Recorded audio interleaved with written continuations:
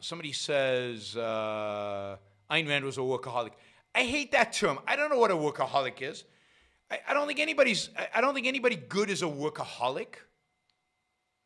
They're not obsessed with work.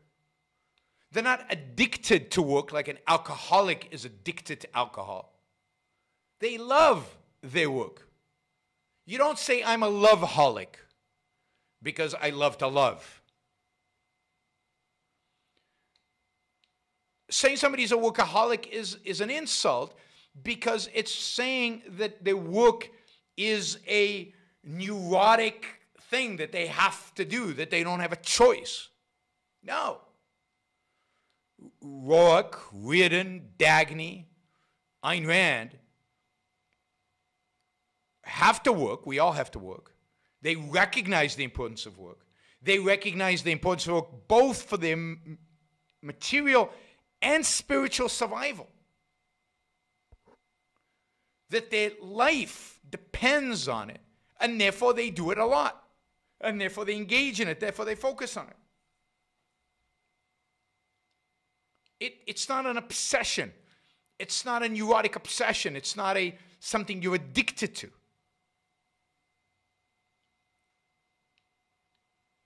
Yeah, she might have taken something to keep her awake because she was on a roll in a productive process. That's not addicted to the work. And I don't think she was addicted to any medications. Don't believe everything you read about Ayn Rand.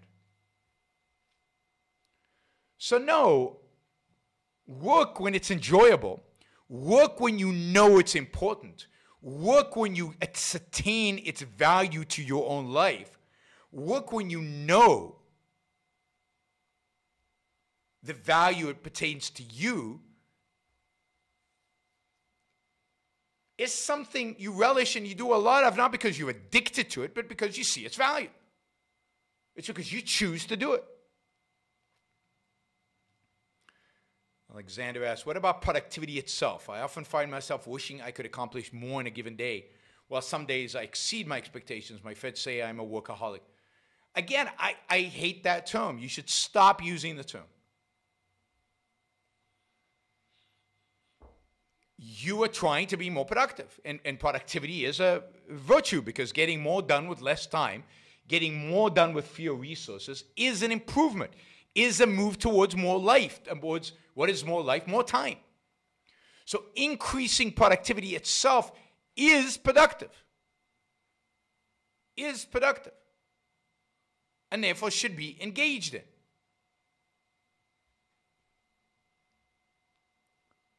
And, and you know, I, I, I recommend you, you figure out ways to become more productive. You read up, you, you gain knowledge that will help you be more productive so that you can engage in the virtue of productiveness. Productiveness is not just doing your work. The virtue of productiveness, not just doing your work, ignoring the quality or never focusing on how to improve it, how to do it better, how to become better at something just doing it because that's how you've always done it. That's the opposite of the virtue of productiveness. The virtue of productiveness requires you to make the effort to become more productive so you can buy more time, so you can get better at what you do. Yeah, the fact that you're pursuing being more productive is a virtue. It's something to be complimented on, not something to be he's a workaholic. I mean, that's an awful, awful term. Right. Now, what about you know work-life balance? Everybody talks about work-life balance. Yeah, I mean, you can't work all the time. It's too exhausting. And there are other important aspects of life love, romantic love, sex, friendship, art,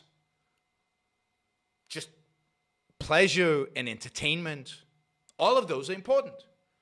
And one has to balance them out. And at different points in the career where they have a different balance. You know, if you're trying to break into investment banking and you're 24 years old, you better be ready to work 100 hour weeks. Do the math. There are not that many more hours in a week than 100. You don't sleep much. You work every day. You put everything else aside and you work. That's not a workaholic. That's somebody who's ambitious and trying to make it in a very competitive, difficult field. But at some point, if you're a partner at Goldman Sachs or, or you're a partner in a venture capital firm or everything, you're still going to work hard, but you're not going to do 100 hours a week. You're going to spend time with your family. You're going to go to a concert. You're going to listen to music. You're going to, you also have now the wealth that allows you the convenience to do all the things that you want to do. So um, it depends on when, right? When in your career cycle, when in your life cycle. But the idea that you should either ignore all these other values because, oh, this is my central value is wrong. You need to find a balance, and each one of us will find a balance, uh, you know, differently. But the culture is pushing. American culture is a little different, but most culture pushes you that work is not that important. It's something that has to get done, but don't take it too seriously. And you're a workaholic if you do too much of it. Whereas objectivism is telling you, no, it is your central purpose. You should do what you need to do in order to achieve your values in your work.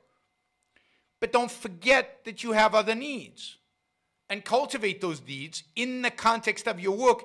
And when, when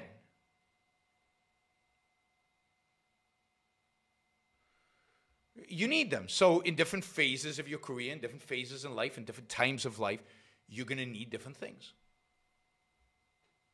And be aware of that. Be introspective. Be self conscious about all of that.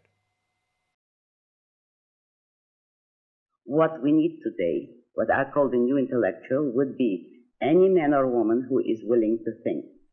Meaning, any man or woman who knows that man's life must be guided by reason, by the intellect, not by feelings, wishes, whims, or mystic revelations.